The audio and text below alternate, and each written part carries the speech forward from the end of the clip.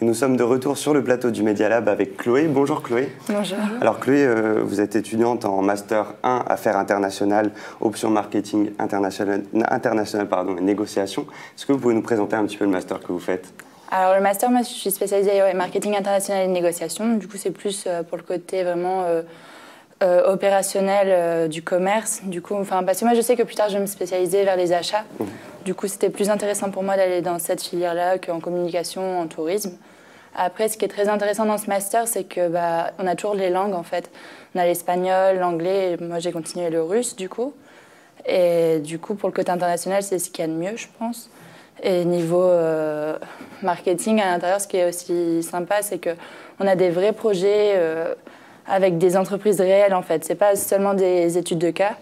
Par exemple, là, on va devoir faire un développement à l'international et c'est un vrai projet, donc c'est vraiment on allie pratique et théorie en fait, ouais. Donc c'est vraiment ce qu'il y a de mieux, je pense. Et du coup, avant d'entrer dans ce master, tu as fait une licence LEA. Oui. Qu'est-ce que ça t'a apporté de faire cette licence-là? Alors, euh, la licence LEA, au début, j'étais un peu perdue, je savais pas trop quoi faire. Du coup, j'étais là-dedans pour bien travailler mes langues, en fait. Euh, du coup, l'anglais, l'espagnol et la LV3, qui était au choix. Du coup, j'avais pris russe. Et à la fois, on avait pas mal de matières très différentes qui fait, enfin, du coup, on découvrait plus ou moins petit à petit, euh, au, au fil des années, en fait, les, les- les différents secteurs. On a eu des, les ressources humaines, on a eu le commerce international, le marketing Mais C'était international. vaste. euh, c'est vaste Ouais, il y avait de tout, de la communication, du tourisme aussi. Et du coup, à partir de ça, on pouvait bien s'orienter vers le master euh, Affaires internationales trilingue et choisir sa spécialité en fait.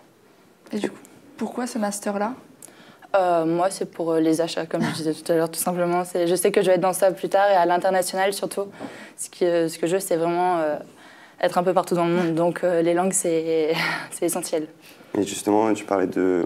avant, je, je disais tout à l'heure que tu étais en, en mine, donc marketing international et, et négociation. Mhm. Il y a d'autres spécialités euh, au travers de ce master? Il y a aussi euh, une autre spécialité qui s'appelle marketing international, négociation et communication, mais c'est plus basé sur la communication que le marketing. Ensuite, il y a aussi tourisme. Il y a trois filières différentes en fait. Et du coup, les, élèves qui sont avec toi, ils viennent d'horizons différents, ils ont tous fait à peu près le même Euh, parcours. Non, il y, a, il y a de tout. Il y en a beaucoup de ma filière de LEA qui sont restés. On est, je pense, un cinquième de LEA à être resté. Après, il y en a qui viennent un peu de partout, de, enfin partout en France, et d'écoles différentes, de licences différentes, et qui ont fait, ouais. Mais en général, qui restent basés quand même sur le marketing. Après, il y a aussi des élèves de LCE euh, anglais qui sont venus en, en marketing. Donc euh, c'est quand même possible, même si ils n'ont pas trop touché au marketing avant, en fait. Et ce master euh, Affaires internationales, euh, il a beaucoup de débouchés euh, à la fin, de, à la fin du cursus? Euh, bah oui, quand même pas mal, je Enfin, on vous professionnalise tout au long du, euh, Oui, du bah oui. cursus? Après, on va, enfin, on va avoir des stages aussi. Du coup, on en a un euh, en première année de 3 à 5 mois et la deuxième année, c'est 6 mois normalement.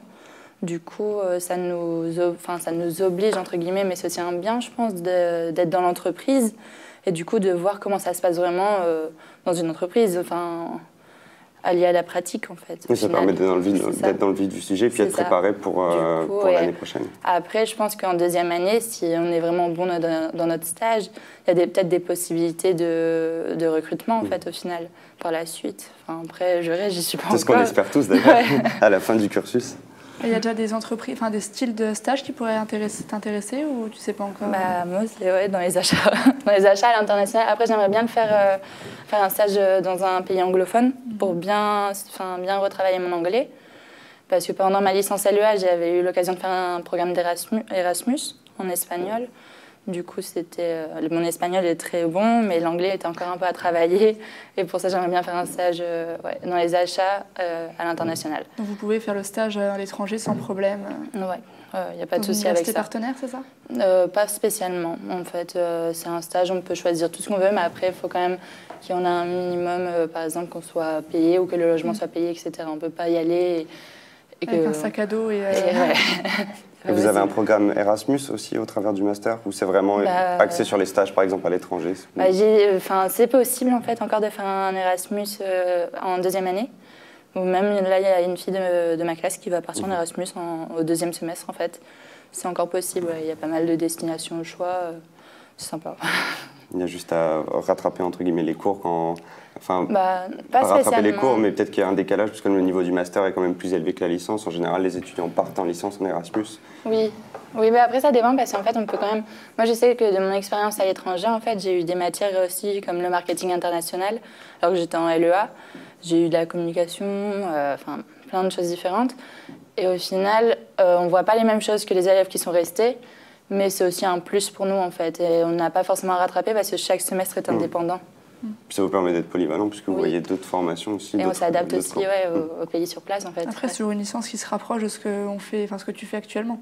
Oui. Donc du coup, ça change pas beaucoup, je suppose, au niveau cours, au niveau... Euh, quand même, parce qu'on est quand même plus spécialisé qu'en LEA, ça reste assez général quand même pour savoir vraiment. Enfin, c'est vraiment c'est une initiation à plein de matières différentes. C'est ça qui est intéressant quand après quand c'est pas vraiment moi parce que je sais que quand je sortais du, j'ai fait un bac scientifique quand même et j'étais pas du tout faite pour ça. Après, je me suis dit je vais aller dans le secteur de la mode, fashion business. Mais après, je me suis dit aussi si je me lasse du secteur de la mode. Qu'est-ce bah, que tu fais après euh, Exactement, avec euh, que là, LEA, du coup, c'est parfait. Je sais que je pourrais me spécialiser encore dans le secteur de la mode plus tard, en fait. Et ça permet d'être polyvalent pour les, pour les, Exactement. postes, euh, pour les postes ensuite. Ouais. Euh, merci beaucoup Ouais, Chloé de votre intervention. Quant à nous, on se retrouve dans quelques instants pour d'autres intervenants. À tout de suite sur le direct du Media Lab.